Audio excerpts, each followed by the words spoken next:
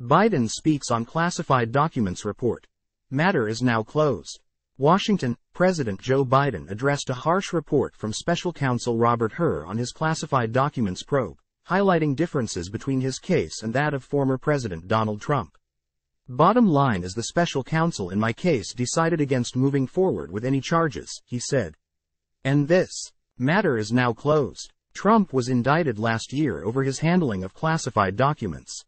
He has pleaded not guilty to the 40 charges, which include counts of willful retention of national defense information and conspiracy to obstruct justice.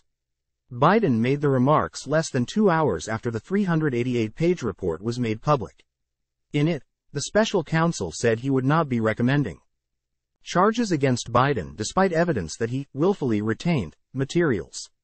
Biden, speaking at the House Democratic Caucus Issues Conference in Virginia, tried to put the best face on the politically damaging report that cited his advanced age and poor memory, saying he was pleased to see Hur reach his conclusion not to pursue charges after what Biden described as an exhaustive investigation spanning back to his time in the Senate in the 1970s.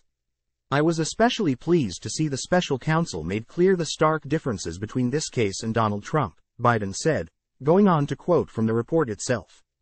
Biden read aloud one portion of the special counsel report that read, most notably, after being given multiple chances to return classified documents and avoid prosecution, Mr. Trump allegedly did the opposite.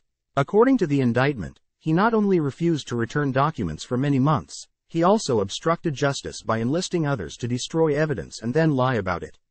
In contrast, Mr. Biden turned in classified documents to the National Archives, the Department of Justice, consented to a search of multiple locations, including his homes and sat for a voluntary interview, and in other ways cooperated with the investigation.